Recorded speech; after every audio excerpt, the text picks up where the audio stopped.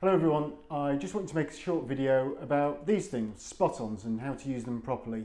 Um, in this case we've got Lorna's lovely dog Benji here who's very kindly volunteered uh, and we're going to be using Advocate but this equally applies to Frontline or Advantage um, or Stronghold, anything really. Um, most important thing is to put it onto the skin, uh, undamaged skin of a dry animal. Um, it's blowing a bit of a storm outside at the moment. Um, if Benji was wet when we were putting this on, then the effectiveness would be decreased. Uh, also, if I bathe Benji within a couple of days, it will just wash it off again. So, generally they come in a little pack like this, and in this case we punch them out the back.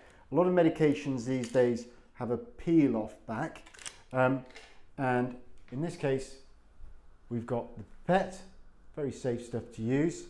And what we do is we, oops, sorry Reg, he's going to see Lorna. Lorna's filming by the way.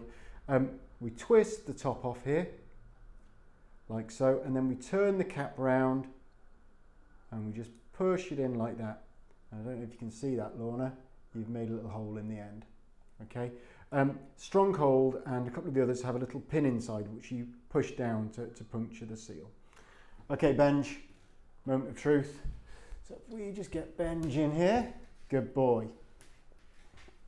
Okay, so the best place to, can you just sit for me, buddy? There we go. Best place to do this is generally up here. Not because this is special, this part of the skin here, but essentially because anywhere down here, you might be able to turn around and lick it off. It's not going to do him any harm, but it would, again, decrease the effectiveness. So we've opened our, our pipette and what we need to do is part the hair like so. So what I tend to do is push the hair back against itself and then just split it and on it goes like so. Whoops a daisy. So a little bit's gone on the fur there.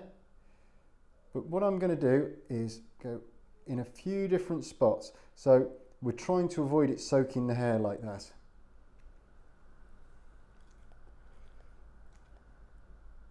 Now, a lot of animals don't like this because the carrier is an uh, alcohol. That's what gives it its smell.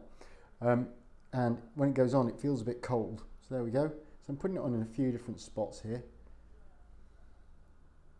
I'm trying to keep it off my own skin as well because I don't want to get a dose. Um, so the alcohol in it feels a little bit cold and it can make the hair stick up afterwards. That's absolutely fine.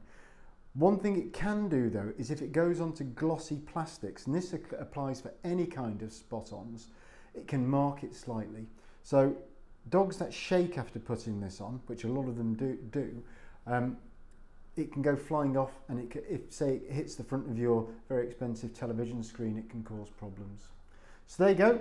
That's how you put on spot-ons. Hope this is a useful video and uh, hope to see you soon. Bye.